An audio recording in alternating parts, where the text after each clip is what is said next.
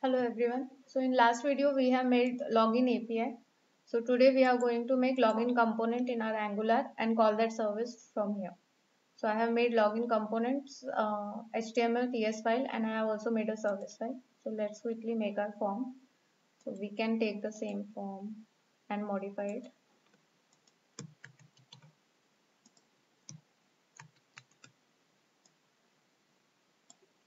Let's call it login.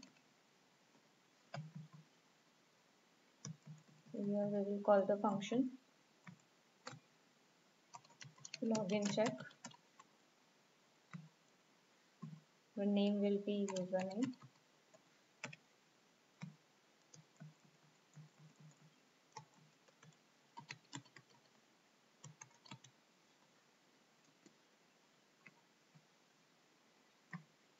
Will be password. Password type will be password here PW.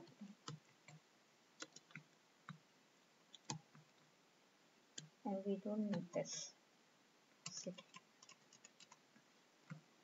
Here on submit value will be login. Let's check our form.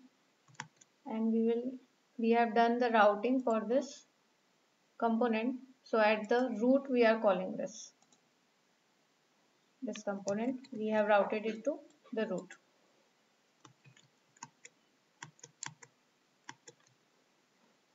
Property form does not exist. Okay. So we will have to make in our login.components we'll have to make form group. So that also we'll take from here. So this form group we can take.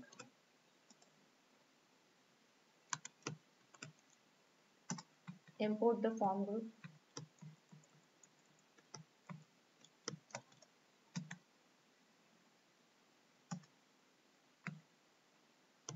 import form control. And our function also will call.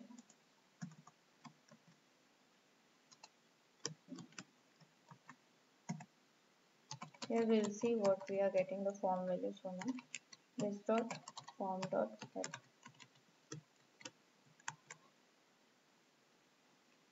okay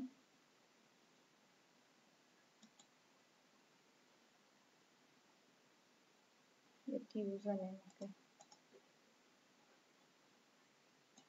we have to make changes here username it will be pwd and this we don't so done admin.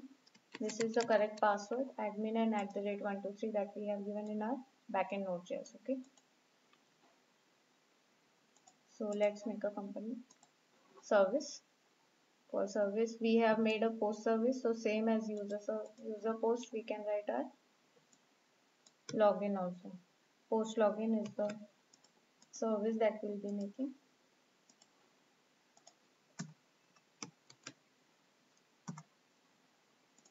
Here import your http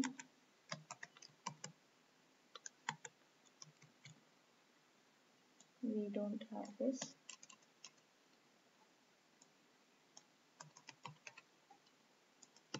And our URL is login. And let's call our service. This dot service dot our service name not post user will say post login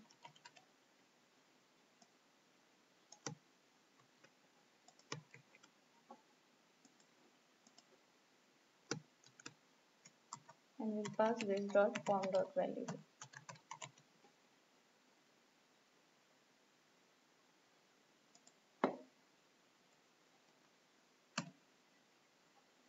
Import the service. Private service. And ours is login service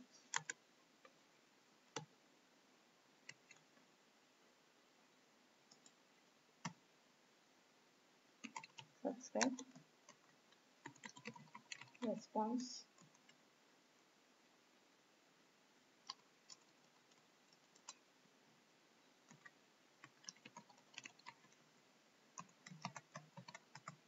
we'll give the response type any so that it will take both the boolean values and whatever we are getting from the response. So for now we'll just see what response we are getting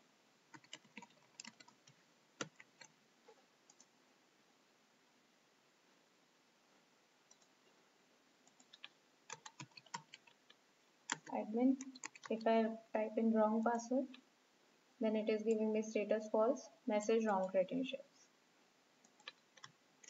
And if the credentials are correct at the rate 123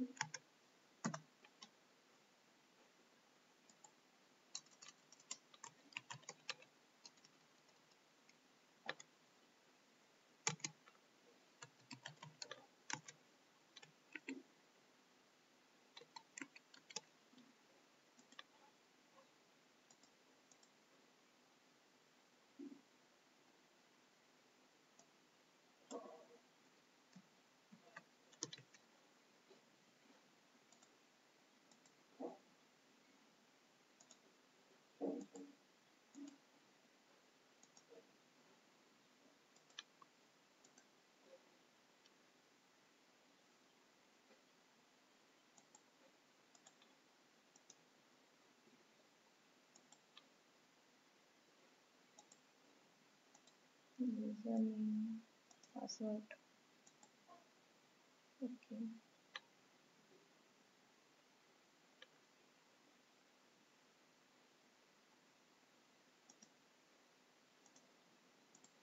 Should get correct response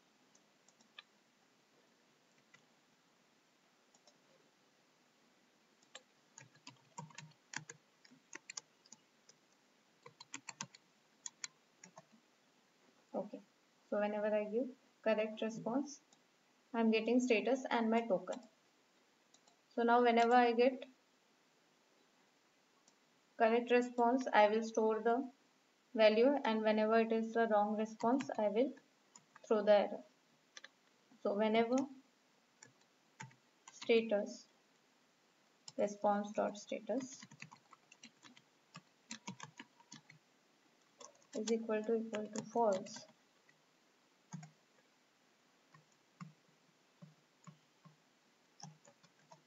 Then show the alert. In alert we will show response dot message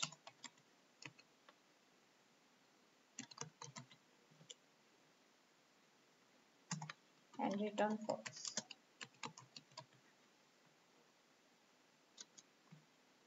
if not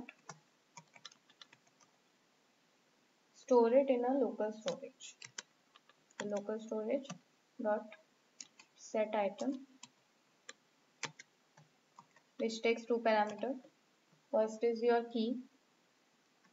So I'll give key name JWT token. And second is your value of the key. So my value is coming in response dot token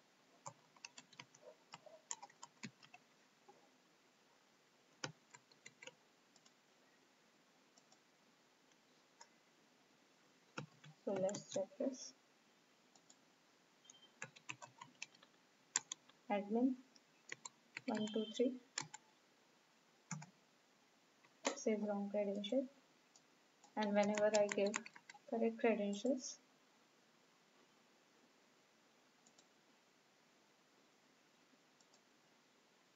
See here in JWT token I have got my token value. So this is how you can store your token value in your local storage